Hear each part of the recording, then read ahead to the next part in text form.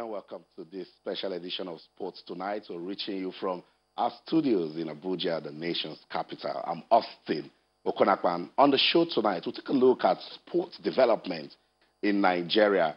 It's just about 165 days to the Tokyo 2020 Olympics, and I've been asking the question right from 280 days that are ready is Team Nigeria. Funding and infrastructure still a major issue to sports development in Nigeria. When Sunday Dare was appointed Minister of Youth and Sports Development, he says he wants to improve athletes' welfare. He says he also wants to improve infrastructure. He says they want to do things differently in the ministry. And so tonight on the show, we're going to be having the Minister of Youth and Sports Development, Mr. Sunday Dare, as we walk through sports development in Nigeria using our readiness for the Olympics as a model. Welcome on board, wherever you are in the world watching us. This is Sports Tonight. Uh, it's not the same background you see on the show. Uh, it's a special edition, and tonight we want to give 100% focus to sports development in Nigeria. So wherever you're in the world, uh, you can be part of the program. Uh, feedback mechanisms, they're still the same. On Twitter, it's channels underscore sports. Facebook, channels IFA sports. So send us an email to sports tonight at channelstv.com. We've thrown out uh, that notification uh, telling you that the minister is our special guest. And you guys have been sending in comments. Let's keep it coming on Twitter channels underscore sports, Facebook channels, IFA Sports. What are your thoughts? I'll be part of nation building tonight. What are the things we must do uh, to make sports a model uh, worldwide? Uh, one of the things the ministry also said they want to do is they want to make sports a business. It should be able to contribute to economic development in Nigeria. And that's why I want you to be part of the show. So uh, send us questions, comments, suggestions on ways that we can develop sports in Nigeria. So with that, um, be part of the show. Twitter channels underscore sports, Facebook channels iPhone Sports. Let's continue our countdown to the Edo 2020 National Sports Festival. That's one also an important a way to discover and nurture talent. And that's what we are doing with it right here in Nigeria. It's a big, big project for the Ministry of Youth and Sports Development. 31 days to go. Edo State government, they said they want to give us a different experience. They want us to see uh, the sports festival from another perspective. They want to give us the best events ever. And with that, they've been fixing infrastructure. They've done their own state sports festival. They've discovered talent. They said they also want to host to win. We love this one so much, and that's why we are counting down to let you know that it is coming, to pump up your expectations. So, on that note, welcome on board once again. Let's welcome the Honorable Minister of Youth and Sports Development, Mr. Sunday Dare. Honorable Minister, good to have you sports tonight. Austin Okonakwen, thanks for having me. Awesome. I, I don't know, he peeped, still he peeped into my wardrobe. Well, he got the memo. Good to have you on the show, Honorable Minister. Thank and you. let's get uh, quickly into it with um, the National Sports Festival. We love the fact that it is back. Uh, what should we be expecting differently this time around? Well, you know, absolutely. The National Sports Festival built for Edo, called Edo 2020, come March this year, is regarded as Nigeria's version of the Olympics. We, we're going to be showcasing our very best in about 31 different sports. And we expect that what we're going to get in Edo will be a command performance. Nice. You've inspected the facilities there. Are you pleased with what you saw? Absolutely. I was there last week. That makes my third time of going to uh, Benin City at the Ogbemudia Stadium. Um, I've seen tremendous improvement. I'll give an example. There's the indoor sports hall belonging to the Ministry of Youth and Sport. It's a multi-purpose sports hall. Three months ago, it was completely down, abandoned for like 10 years. The governor and the deputy governor promised they were going to fix it. When we went back last week, it was back in pristine condition. And it was used last week for the sports festival in Edo State. Mm. Back to the Ogbe Stadium, the transformation there is massive, unprecedented. It's like the old stadium was taken away and a new one was grafted. So we've seen the quality of the tartan tracks, we've seen the quality of the football pitch. We've had experts come in and go out. Um, the last time I went, I spent about two and a half hours going around. This mm. time I spent an equal amount of time. Um, so far, so good. Like I said, 90% were satisfied. We, with their timelines already set. The governor on Monday released another chunk of, of money, which will help to meet the timelines. So as we count down to Edo 2020, we have timelines for the track, the final test for the pitch, the indoor sports hall, and all that is necessary. Mm, sounds good. Uh, let's talk about you for a moment before we get into the Olympics countdown. Six months it will be on Friday. Ah, questions on social media. Mr. Austin ask him, Are you another football minister? Well, you know, I'm not even counting. I just wake up every day and I confront the challenge of trying to change the fundamentals of Nigeria sports development. Uh, that has been my overriding concern. But also, we've demonstrated in the last six months that we're not about football alone. Nigeria's sports development is anchored not just on one sport, on multiple sports. This is a country abounding with talents across the length and breadth of this country. And that's why we have made grassroots sports development, talent hunt, one of our core areas that we're going to look at.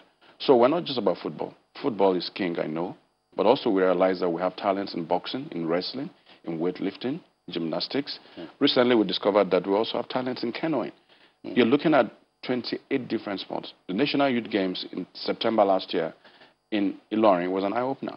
We had 345 talents from 28 different sports. Real, raw talents, if developed in the next five years or 10 years, can bring glory and medals to this country. Awesome. So this country is beyond football. Mm. Football, yes, we continue to lead, but others. Look at Tokyo 2020, yeah. you have basketball, mm. the male and the female team. Awesome. That is unprecedented. And no football. And it signposts the future of our sports development, mm. that beyond football, other sports can bring glory to this country. That's right. So that's it. A confirmation from the minister. He is no football minister. It's sports development in Nigeria, and that's uh, the focus for the ministry. Let's get to our countdown to the Tokyo 2020 Olympics. Yes, that one is massive, and that's why we've been doing this countdown. 156 more days to go. The Ministry of Youth and Sports Development, they reminded us last week that they, are, they want to avoid the mistakes from the past. They want to do things differently. They want to make sure that athletes are fine. They, are, they brought up the Adopt an Athlete initiative to ensure that our funding uh, won't be a problem as it used to be. 156 days to go. I used to ask the question on the show, how ready is Team Nigeria? I've got a minister who's going to tell us tonight on the show. Uh, Honorable Minister, how ready is Team Nigeria? Nigeria is ready. Nigeria is ready for Tokyo 2020.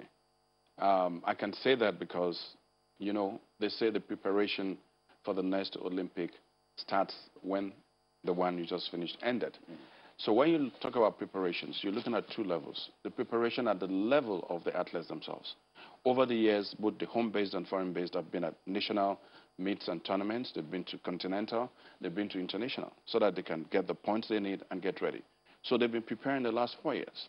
What we now see is that state preparation that finally puts them where they want to be in terms of um, training, in terms of camping, in terms of the international championships they need to really attend to sharpen their skills.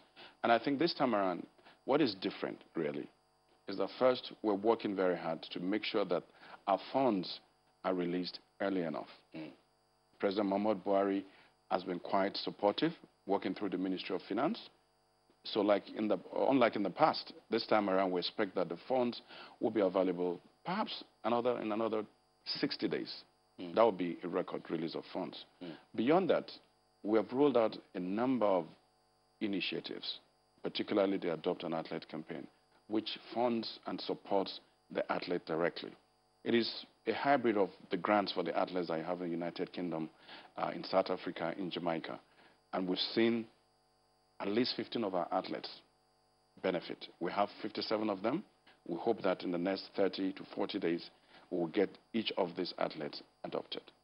Unlike in the past, we, we competed in about 22 sports. This time around, we put in a little bit of precision. Mm. We, we, we kind of looked at performances, we looked at their ratings, the points you have, and we've decided, look, we're going to just compete in 11 sports. And that is informed by several, you know, reports that has happened over time. But the most important one was that report that came set up by President Jonathan, Presidential Tax Force, mm. that looked at our performance at the Olympics in, in, in London. You remember? We yes. came back with nothing. Mm. Um, that was a turning point. And we've looked at that report, informed by development, you know, seeing what happens in other countries. We've decided that 11 sports we're going to compete. And we're watching very closely as they complete the qualifiers. It might remain 11, it might come down to 9. But we're determined to put our resources where we can best compete and bring glory to this country. I've said it repeatedly. The Olympics is not a trial. Countries don't go to Olympics to try out or for trials. If in the past we've tried, yeah, but this time around, we're going to compete with the best in the world. We're going to compete for the medals, the gold, the silver, and the bronze. And I, and I, I try to understand that, that point, but some federations will say if they go through the hurdles to qualify, uh, they, they can also believe they, they will go there to win. So such federations, what will be their story? Well, let me say we've carried the federations along because we've had an informed process. We're talking about precision. We're talking about mining the data. You know, you look at it. If somebody is running, um, is maybe the fifth or let's say the 10th mm. in uh, 100 meters hurdles for women. And um, you have three of the best competing. competing. And then you look at the time difference. You look at the time we have between now and the Olympics. From experience, can this person really close up? I'll give a, be a more ex better example, much better example if our rating right now is 125 when it comes to boxing, mm. do you think we can really go to the Olympics and really win a medal? It's going to be tough. tough. So what we've put together in metrics is a database. You can mine the data. That's what other countries do. As we sit here today, the United Kingdom, for instance, can tell you with some level of precision, there's a number of medals we win in this particular sport, in this sport, in this sport. Because there's precision, they mine the data, they look, they compare other athletes that will be there to run or to compete. We've tried to do that this time around, and we're, we're confident that the 11 sports we have chosen, Nigeria, we can compete. We have the talents, and these are well-known talents globally who have competed at some of the highest championships, both indoor and outdoor. Mm. Let's talk about the, the, the, Adopt campaign initiative. I was at a launch in Lagos, uh, and to some point, um, it looks like something that can work. But you mentioned that um, whoever is adopting an athlete, we deal with the athlete directly. Now, how would the ministry monitor that? And are there gains already? Absolutely. Um, well, the, the ministry, of course, is supervising the process. We have an MOU between the ministry and the person or the organization adopting the athlete. So we're managing the process. Okay. But what we've done is make sure that there's a direct organic relationship, the direct transfer of funds to the athlete. All the athletes have submitted, some are still submitting their plans because we need to see the plans that will justify the funds that will go to them. We also have a, a monitoring mechanism to make sure that if you get adopted and you get the funds, the funds are used for the purpose for which they are meant. So we built in that mechanism. We have the MOU. And like I said, so far, interestingly, we've had more organizations, more individuals coming to the ministry mm. to say, I want to adopt an athlete on the way to Olympics. So, so far, it's been, um, it's been very uh, rewarding to see how we've seen a spike in the interest on the part of individuals and corporate organizations in our sportsmen and women. That is something we had set out to achieve. Uh, beyond bringing private money, we want that Olympic spirit, the sporting spirit of Nigerians, to be awakened and to recognize the fact that the athletes that bring glory to this country deserve to be supported while they're preparing to go. Not wait until they win that medal mm. before we, we, we uh, remember to, to give them uh, plaudits and awards. Sounds good. Let's talk about infrastructure development. That's been a major setback to sports development in Nigeria. I don't have to tell you about the National Stadium in Lagos. The National Stadium, Abuja, problematic. Go around the country. How can we start fixing this problem of infrastructure? We have started.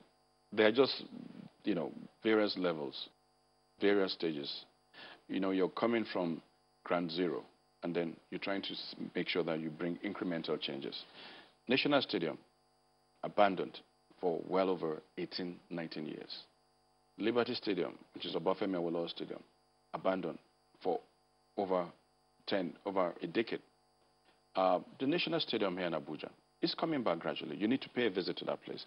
I work from the National Stadium two days in a week, um, and then the Ahmadu Bello Stadium. The story is changing. And I give you two quick examples. As we speak, I know that in October we got the engagement with uh, Alhaji Dangote. I can tell you that as of last week, the process of documentation, getting the contractors has been completed.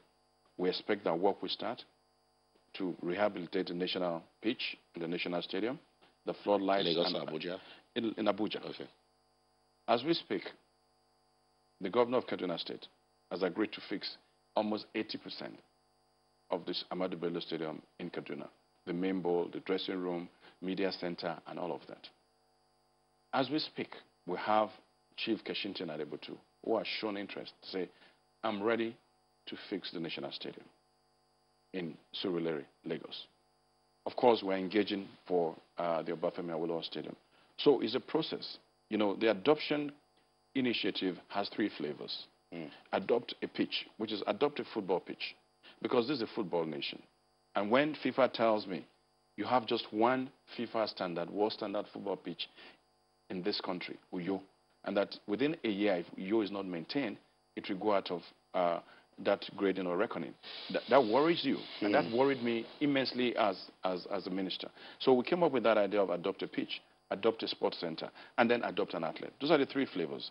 And we've been able to leverage on that to start to change the fundamentals of our sports development. Mm. So, so, how long would this take, particularly? Uh, let's begin with um, Abuja. Um, the sponsor, is it about the member or a total fix of the stadium? It's about the member. Okay. When you also look at it, there are parts of the stadium that are very, still very functional. It's just that when you don't also use some of these sporting uh, facilities, they go into easy disrepair.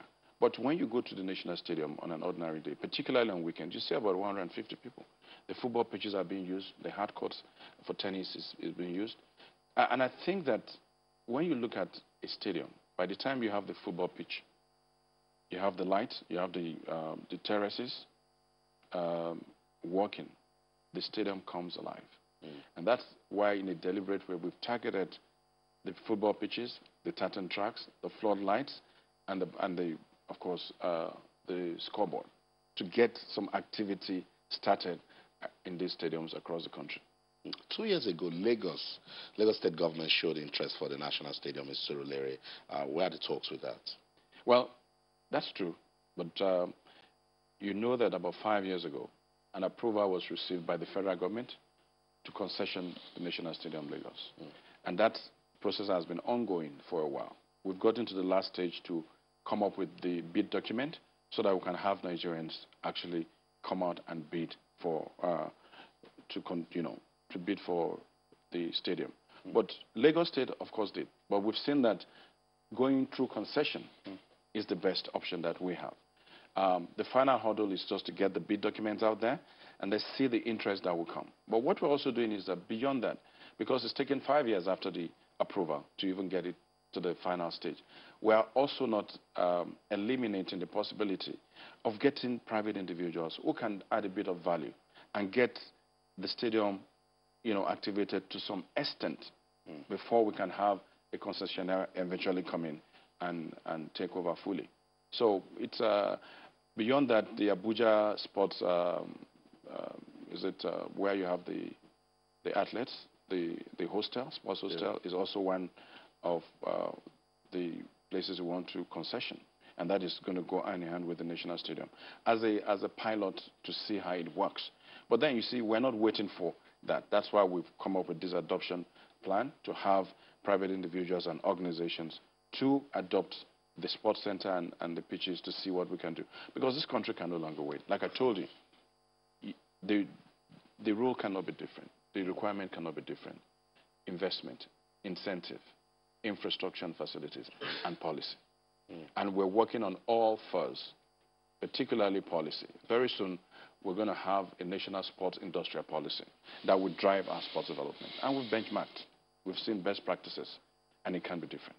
Sounds good. We're still policy. Sports tonight on your award-winning sports-loving channels television. Let's go on this break. When we come back, what is that thing Nigeria must do to have it good at the Tokyo 2020 Olympics? Mr. Sunday Dare will tell us. Don't go anywhere. Stay.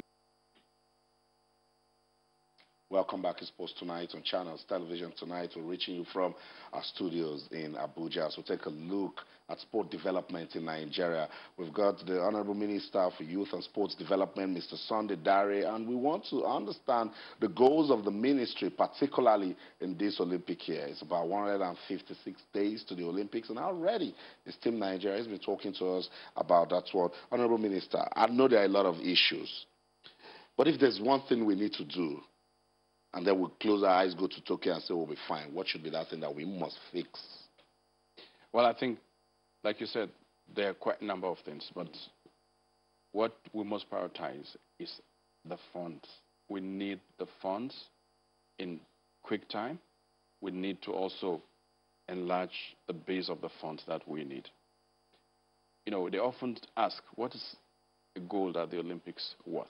And I'll give you some indicators. The United Kingdom spent $77.6 million hmm. uh, for the 1992 um, Athens, in Athens. Ten years down the road, that increased to 460 million US dollars. Mm.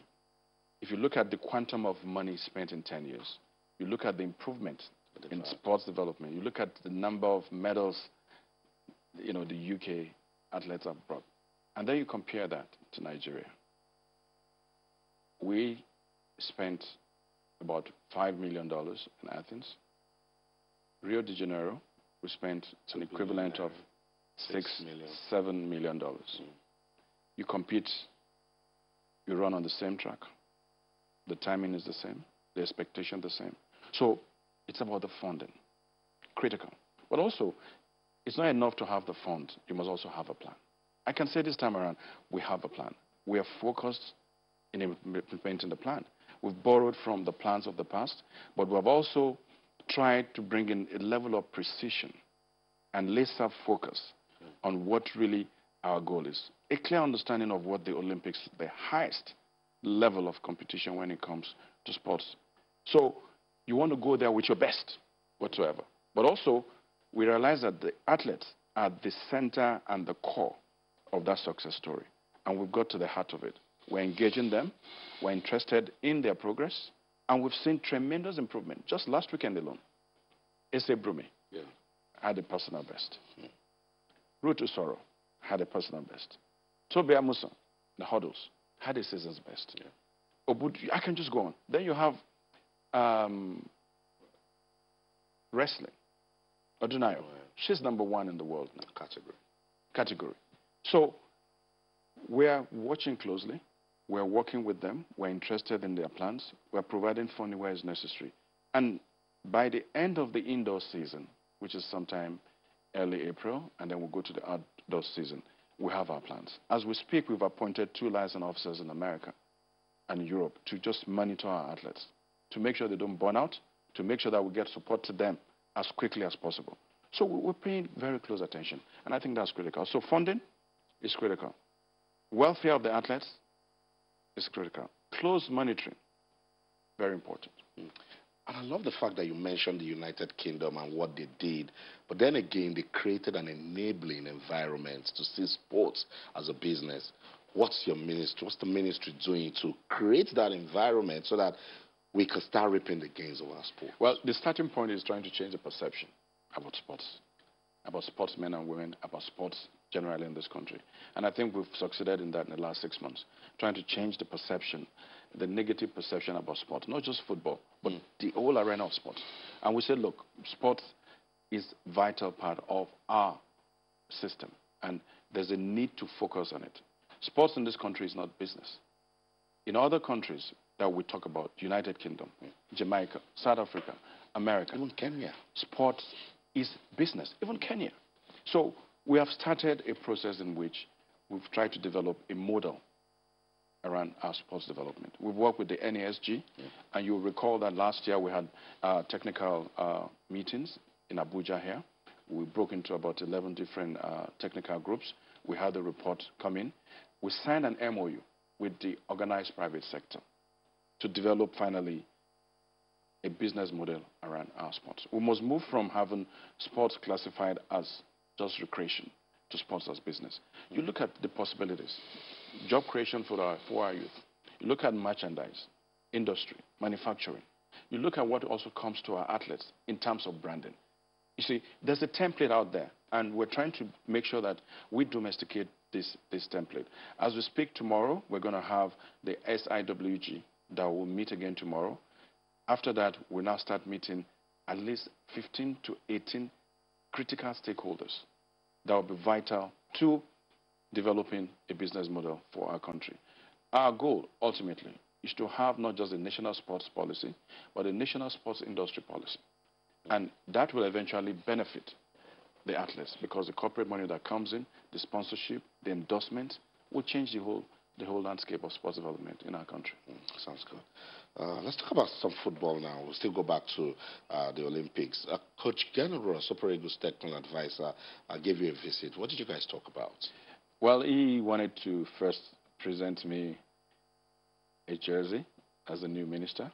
Um, because when he lost his mother, that was barely a week, two weeks after I, I was appointed Minister of Sports Development. Um, I did. I gave him a call. I sent um, a message to him. He wanted to come thank me about that but also to have the opportunity to engage with me uh, uh, at a private level, just to discuss. I thanked him for the work he has done so far. Mm. We have seen improvement in uh, uh in our in our football uh, while he, he came around.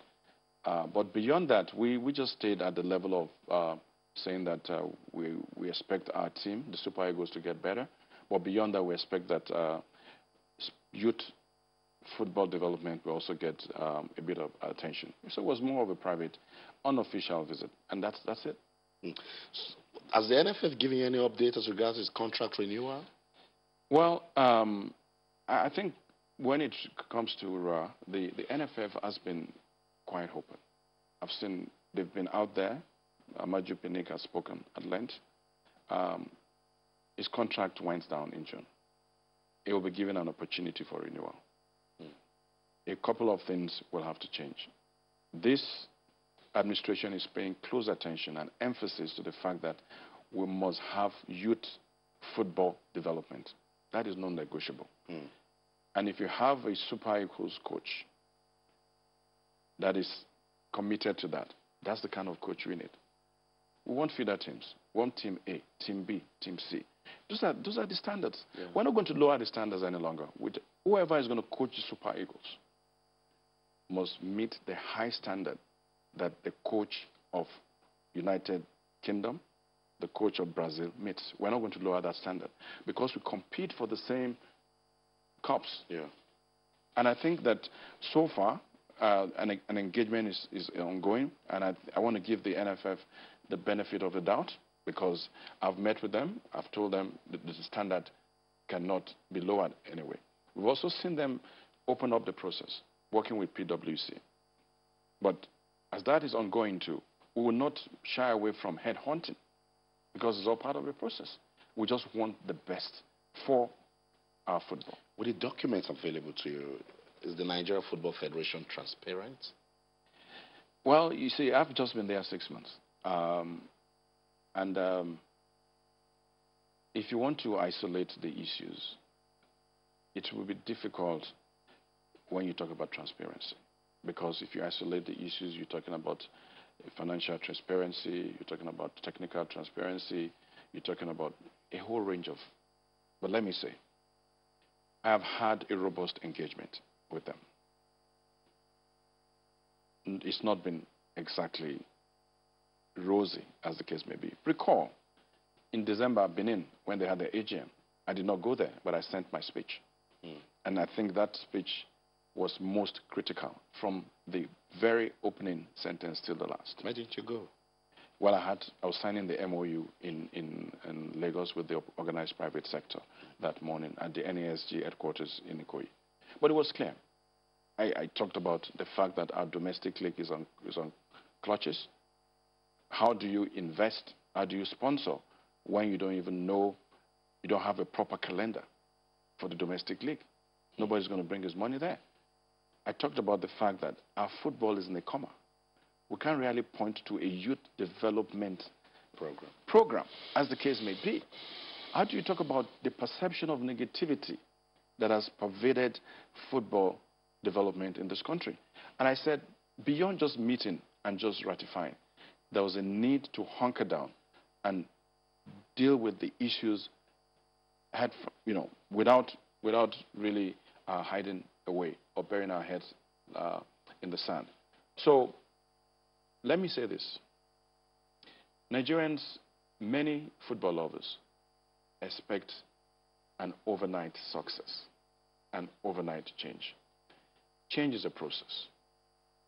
The, what is important is that we've started to look at the fundamentals of our football development, the administration, the technical department, all the areas that are critical. We're looking at them critically. That's critical and that's important.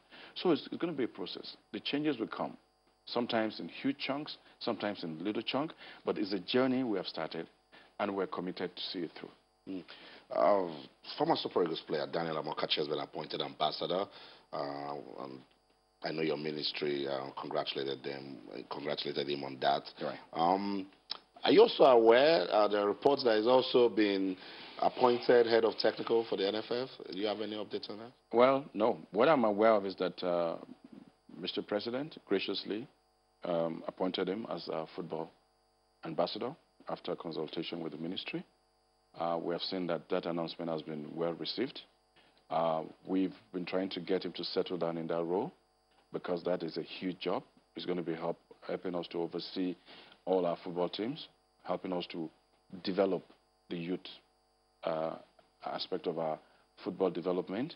Um, so for me, that's what's important for me. That is my focus, that the assignment uh, is going to carry out strikes at the heart of football development. Mm. I want him to play that role critically. The ministry is ready and willing to provide him with the tools he needs to play that role. Also remember, beyond just Amokachi, he is going to also need a cast around him a cast of former uh, ex-internationals, coaches, technical hands, and the rest of them. He needs to bring this together to help serve, you know, to change the narrative. So as it regards any other role for him, um, I think right now his job is cut out. If, if, if, if you know the kind of person I am. I already have, you know, almost five pages of things I want him to, to do. How he's going to find time to take another job elsewhere, I don't know. So have you been informed of this new appointment? No, because for me, it's nothing official. I've not been informed at all, whether directly or indirectly. Mm. I've not been informed.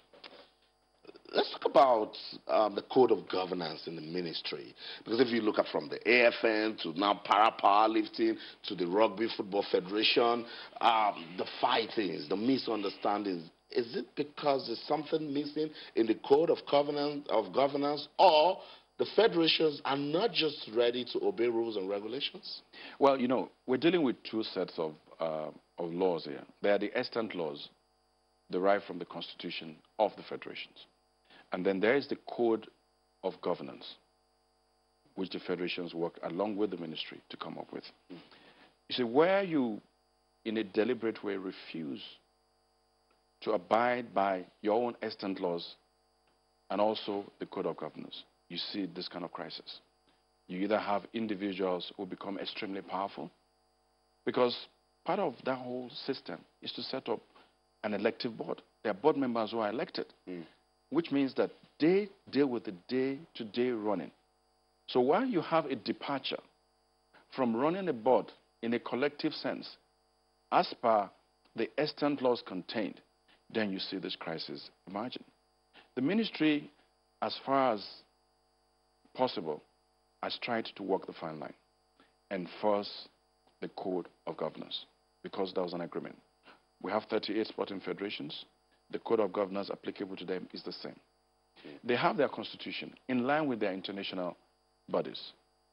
I'll tell you, for instance, Austin, in the last two years or so, the ministry has asked that every federation submit their constitution. Only seven out of 38 have submitted. Only two of them have had their constitution ratified.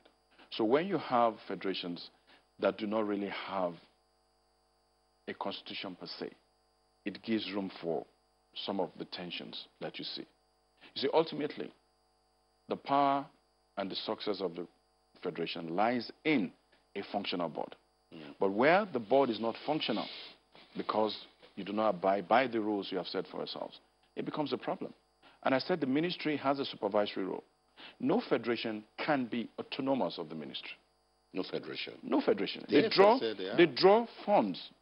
They draw funds from the ministry through appropriation, through the National Assembly.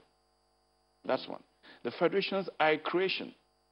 Even the international body says that they only operate, they must operate with due respect to the laws of the country where they operate.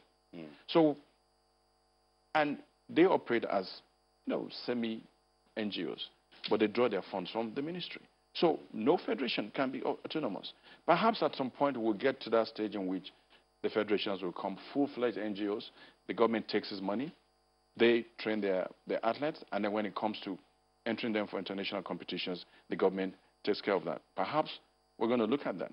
We're going to look at a lot of ways in which we can fix what we see happening now.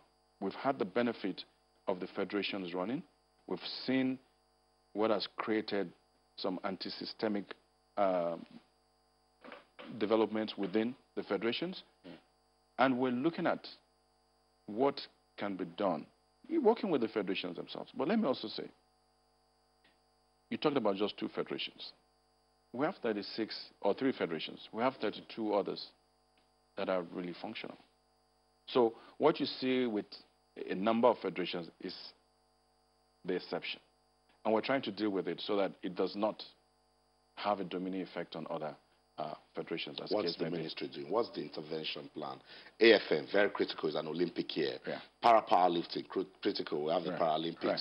What, is, what is the ministry doing to cool off this tension in these two federations? Well, we, the ministry will continue to insist that you abide by the code of governance to which every sporting federation signed to. The ministry will continue to draw their attention without interference, but we will intervene to say you have a board. You can't operate as a solo agent, as a sole administrator. Because even the board has a mind of its own. If you have a board of 13 people and two people basically take all the decisions, you know, that creates crisis. So we'll continue to draw their attention to it. But that's ultimately, ultimately, if we continue to have this, then the government, through the ministry, will have to consider whether it will continue to give offer legitimacy to such federations, or also to make government funds available. Mm. We'll continue to monitor that one because, of course, we need to fix these administrative issues if we want to move sports forward. Yes. Let's talk about the grassroots. Are there potentials there with what you've seen? Absolutely. And I've seen them. Great potentials. Just on Friday, Saturday last week, we had the All Comers in Akure. The All Comers Athletes made by AFN, the Olamide uh, group, and we, we saw a lot of talent. We saw young Nigerians run personal best. In another 10 days, we're going to have the classics in Ekiti. Mm. We will see more of these talents prop up. And then we get to Edo 2020. But outside of that, there's a focus on grassroots sports development. We have what we call the Talent Hunt Program, the THP. It is a deliberate policy to hunt for talents wherever they are in this country, whatever the sports.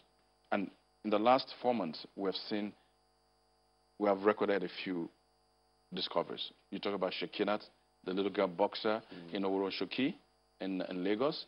You talk about Adrian, the, the, the swimmer, who uh, is called the fish. Mm. Uh, we talk about the, the young sisters, Nene and Ozazi, who are now, you know, regarded as uh, uh just like the Serena, the Williams sisters. And of course, I was in Bayelsa last week, mm. and uh, I learned about Asa Omar, uh, Sports Academy. So I drove there, I stopped by. I was shocked to find 320 young kids, boys wow. and girls, between ages 9 and 15. They are in that school. They get fed three times a day. They also attend school, but also are engaged in sporting facilities, uh, sporting uh, activities mm. there. These kids are the future of our sports development. Mm. Austin, it is often said that the gold is in the child. That's right. I'll pause you right there because we'll still continue with the grassroots. And by the way, I saw you juggling the ball right Let's go on this quick break. When we come back, we'll still talk about the grassroots and the importance of having a policy that will guide sports administration in Nigeria. Don't go anywhere. Stay. Welcome back to Sports Tonight on Channels Television. We still have the Minister for Youth and Sports Development, uh, Mr. Sunday Dare, with us in the studio. And as we're talking about grassroots sports development, you said there are potentials in there. Yeah, of course. I did say, you know, the goal is in the child. And what is the story behind that? You must cultivate these talents at a very young age. So when you see an 18-year-old, 20-year-old, you know, breaking the records and smashing the records, it didn't start three years ago. It started when they were young kids, when their parents were taking them every day, every weekend to go out there and train. Mm. And you see the, the Williams sisters, you see Usain Bolt. Oh, when he was young. And then you see school sports, he went through the school sports, you know, and all of that. And it can be different for us. In this country, in the past, we saw our talents, football talents, athletes, go through the inter-house sports, primary school, secondary school, and then up to when they really become, uh, they, they go to the elite club. We, we've seen a departure from that, and we want to return to that in a deliberate way. This um, time around, we're going out there under the talent hunt program to look for these talents. We thank a lot of Nigerians who have drawn our attention to say, we have these talents here. Shekinat, I didn't find Shekinat directly. Mm. I just found something that was sent to me on social media. And I followed through. And I found that, dude, there's really some gold here. Let's work with her. Look at the, the girls we met, the same way. The boy who's a swimmer, the same way. I saw more that I went through, 320 kids, just schooling in that quiet, serene environment. Education and sport, inseparable. These are young kids, healthy, they're playing hockey, football. I saw some of the wrestlers. Deep technical depth in wrestling. If you nurture this, so we're looking at a talent hunt program that will harvest these talents, that will nurture them, keep them in a nursery, feed them to our federations, and then the ministry will try to create a fund that will support not just their growth as sportsmen and women, but also their education. Sounds good. Let's go back to this issue of having a working policy. What can the, the, ministry do to ensure that there is a policy that will guide development of sports in Nigeria? Recall, uh, Austin, it's been, it's been a long journey. Um, when I became minister, I did review all the reports I've come in. Sam Ogbemudia report, Emeka Omeruah, I can go on and on. Up until 2016 when we had the National Reforms Committee report, which kind of extracted all the reports that had looked at the sports development in the country. I think that we have the right ideas, but then the question of implementation has become a major problem. Beyond that, funding, because some of the ideas I've seen are brilliant. For instance, let me give you, we say, oh, we need to have X number of facilities developed, maintained uh, over the years. There's an X budget for it. If there's no funding, nothing happens. So this is what we've decided to do. We've decided to take the 2016 reforms, National Reform Committee, that was set up by the former minister, uh, Barrister Solomon Dalung. It had about 12 eminent sportsmen and women. We intend to set up a smaller committee that will be called the Implementation Committee that will take this up and then we'll look at we, we break it down into three clear stages. What are the major priorities? And I, I told you, the whole development will be centered around the three I's and one P. There's no departure from it. We talk about infrastructure, with infrastructural rationalization, facilities, mm. equipping these facilities, maintaining them, and managing them. Then you talk about investment. We need massive investment on the part of government, almost like a Marshall Plan, a one-time Marshall Plan, and then a turnover to the private sector. We want to see um, a regime in which private individuals are owning clubs, private individuals are building stadiums, just like we have in other countries. Our domestic league, for instance, we want to look at it. We're going to unbundle it completely. Right now, we have 92% of the clubs owned by, by governments, state governments. Mm. That does not augur well at all for the development of domestic league. We're going to take a stab at that. So we're going to break it down to three stages, have the committee look at implementable chunks, and we'll match that with the resources that we have. It's like building a house. You need a foundation. A few times we've tried to put on more on the roof yeah. without the foundation cannot sustain it. So eventually, like I said, we want to end up go beyond just the national sports policy. The current one is under review, but we're expanding the scope to include, you know, sports as a business. That's why we're talking about the national sports industry policy. Mm. What are we doing to uh, get more women involved in sports in Nigeria? Well, I think the, the opportunities uh, for the women to be involved in sport is also the same opportunities that the men have. But uh, perhaps I could also say that in October, the Ministry of Women Affairs, Ministry of uh, Trade Investment, um, the Ministry of Youth and Sports Development, mm. And uh, Special Duties actually had a meeting trying to bring a bit of gender bias into sports development trying to look at how we can keep our girls longer in school by engaging them in sports mm. so they don't go into early marriage yeah. or early lining of trade. We're also trying to target the funds that FIFA, CAF, and others have yeah. that is gender focused. Stay with it. And stay with it. Mm. So that process is ongoing. But we're trying to create linkages uh, with uh, other ministries so that we can have that push and eventually go forward to FIFA go forward to CAF to say, well, this is the plan we have. We want to plug into the funds that you have. And I agree with you. Uh, we need to, you know, pay very close attention to um, the girls, the young girls, yeah. and also the women in sports development. I must say thank you so much, Honorable Minister, for making our time to come on the show. There's still so much to talk about, and Twitter, Facebook, social media is buzzing. So we do this quarterly. Every three months we get you, see that you talk about this update. Thank you so much. Thank you, Austin, for having me. Thank you so much. Thank That's you. it. Uh, the Honorable Minister for Youth and Sports Development, Mr. Sunday Dare, talking about sports development in Nigeria. I'm getting those messages. Let's keep them coming on Twitter, channels underscore sports, Facebook channels, iPhone Sports. That's the show for the team. I'm Austin Okon-Akpan in everything you do. Remember, keep talking sports. Bye for now.